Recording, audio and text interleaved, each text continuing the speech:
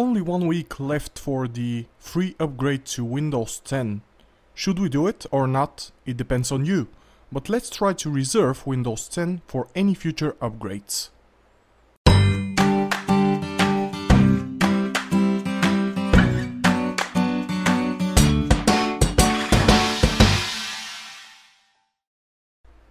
Hello friends, this is Nick from NLB Solutions and today I'm going to show you how to reserve your free Windows 10 copy. In this video I'm going to show you um, a quick demo at the end of the video of how you can um, check basically your activation status and how to confirm that you have your Windows 10 uh, reserved copy for free. As you all know, um, Windows 10 free upgrade will end by the end of the week, which is the 29th of July. And according to Microsoft, if you don't upgrade to this time, you will have to pay one day when you decide to perform the upgrade. And uh, I've looked around and found few articles that provide information of how you can reserve your copy even if you don't plan to use Windows 10 in the near future. And um, I might say that this is a good idea to do now because, as you all know, um, all of the Microsoft uh, products have a um, life cycle, and uh, at the end of the life cycle, the support for the products ends, and Microsoft is not held responsible uh, for any issues that can happen after the um, product is out of support. And of course, the products can be uh, vulnerable and easy to attacks from third-party people that uh, not always uh, wishes uh, uh, good. And um, I want to provide you with just an option of how you can overcome this headache in the future or spending X amount of money to upgrade when you can do this now for free. So uh, basically the three most common options that you have in order for you to um, save and reserve your uh, free upgrade are the the first option is to perform a uh, upgrade to Windows 10. I know that this is not the best option uh, to to do and most of you will not agree with me but this is the easiest way and the easiest way for um, an end user to perform and Microsoft uh, recommend doing that way to upgrade and if you don't like the product you can then downgrade. Uh, I've added few steps that you need to double check in order for you to confirm that uh, you have this um, uh, reserved for you. And uh, when you perform the upgrade to Windows 10, it's always good to double check the activation status. I will show you in the demo after the presentation.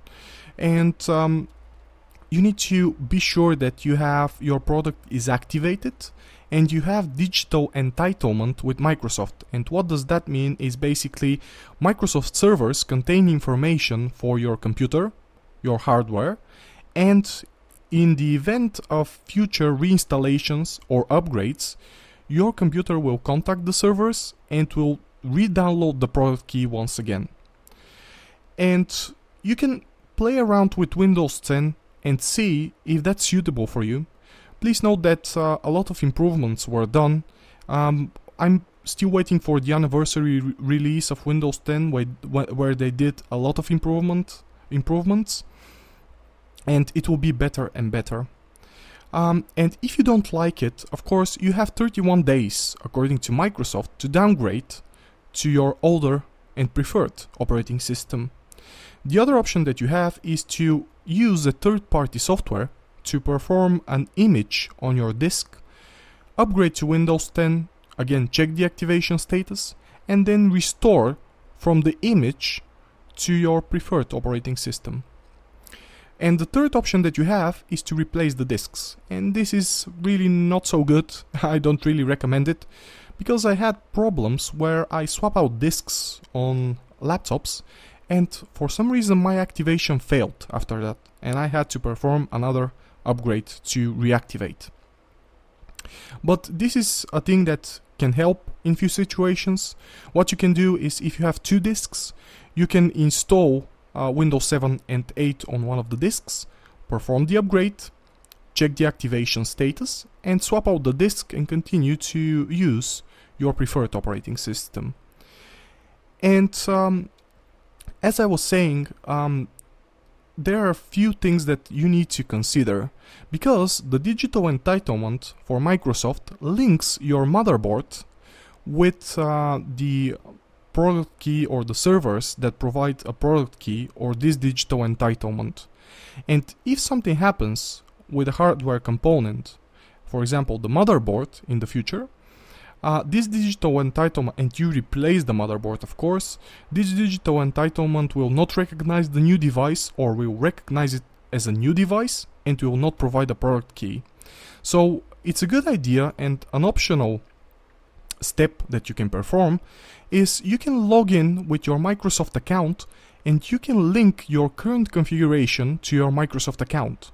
So in the future, if something happens, if a hardware component failure occur, you can always when you fix the issue you can log in with your Microsoft account and relink the device that you have under your account. And it will basically ask you if this is the current device that you are using. And when you confirm in theory it should restate the digital entitlement with the new device. But in few situations you will have to open a ticket with Microsoft and they will have to reinstate this for you so I'm going to switch to the um, virtual machine that I have so I can show you where you can check for the activation and where you can add your Microsoft account. So now that uh, we are on the virtual machine that I've prepared for this demonstration, the only thing that you need to do after you perform the upgrade is you need to go to settings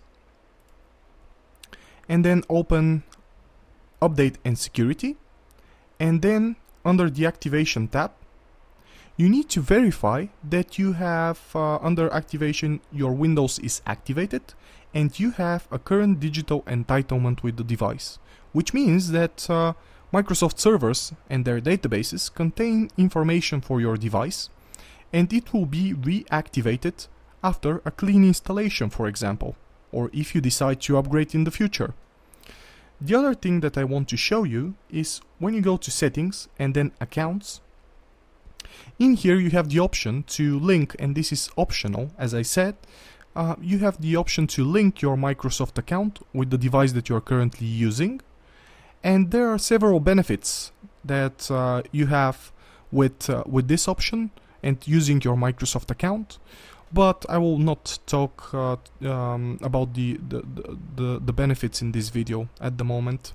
So the only thing you need to do is you need to sign in with your Microsoft account um, it will ask you to verify your email and it will automatically link the device that you're currently using with your account. So in the future, if something happens and you're not able to reactivate your Windows, you can easily go there and reactivate from there. Um, and if you have problems, you can always log a ticket with Microsoft and they will um, they will um, fix this issue for you and your Windows will be activated. So this is the short demonstration of how you can reserve your free copy and please don't forget this is uh, going to end on the 29th of July so hurry up if you want Windows 10 in the future.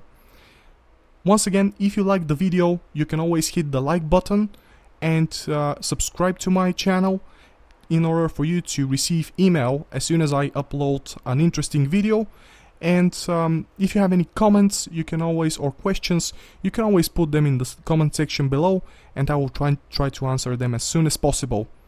Thank you very much for viewing and see you soon.